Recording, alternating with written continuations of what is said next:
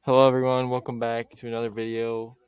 Um, as you can see here, I'm making this video because I just completed my chapter 10 of my PC Pro certification. Um, it wasn't, it kind of took longer than I thought it was for how, how long the section was. Um, especially this last one here, took me a little bit longer. Um, I'm going to be moving on this week to uh, chapter 11 file management. This is kind of a longer one. There's a lot of, or I mean, there's not a lot of like subsections, but there's a lot of stuff in those subsections, so it'll be a li- little while. But anyways, um, basically this thing or this chapter, chapter 10, was all about um, like setting up your Windows stuff. So like here you can see like VM. We had to create a VM. Um, here we had an install workstation image, and yeah, that's kind of it. Um, we also like upgraded our Windows system. So I'm going to start off with my first lab here. It says install an workstation image using PXE.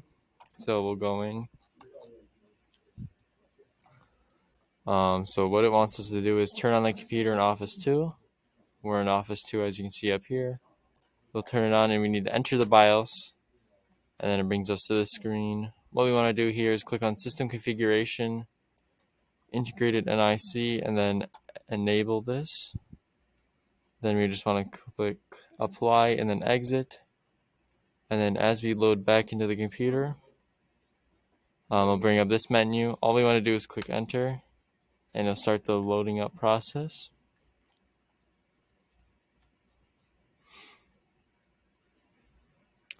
Um, when that process is done, that make that means we have verified the new image is working on Office 2, and then we have to score lab. So it was pretty easy lab. So as you can see, it loaded up fine. We can score the lab here if you got our 100%. So yeah, that was uh, quite an easy lab.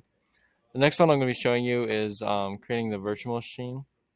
Um, it's fairly simple. It's just kind of lengthy, as you can see on the side. But what you want to go here, what you want to do here is uh, Hyper-V Manager. Um, click its admin. We want a new virtual machine. Um, so we need to name this virtual machine VM1.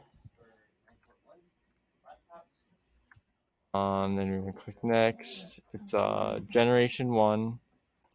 Uh, we need to have 1024 megabytes. And our connection is going to be external. Um, all this stuff is right, and we need to add 50 gigs here. So we click next, nothing here, next again, and then we click finish. And now we have VM1. Uh, as you see here on the side, we need to add a VM2. So we'll go ahead and do that.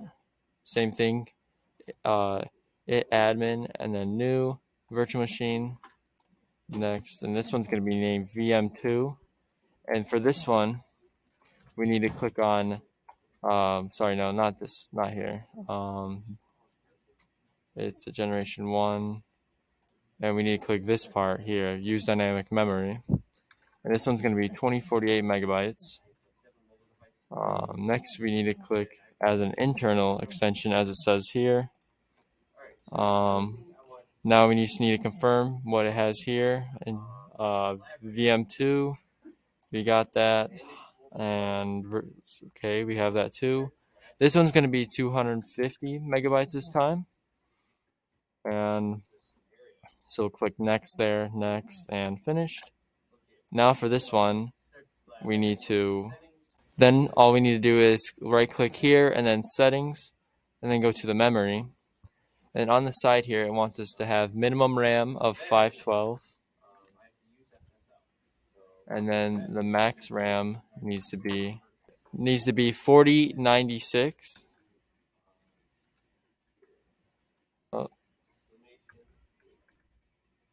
4096. We'll just click apply and then OK. Then so that we have everything done, we'll score the lab and now as you see we have our 100%. So that's some of the things we did. Um, as on the next slide you see down here, we did a virtual hard disk. It's basically the same thing. We go through the same thing, hyper, um, and then we go and create, instead of a new virtual machine, we click on um, new virtual hard disk and we'll go and we do the same basically same process just different information for the virtual hard disk. So that's all for this one. Um, i'm going to be starting my chapter 11 next week and making a video on that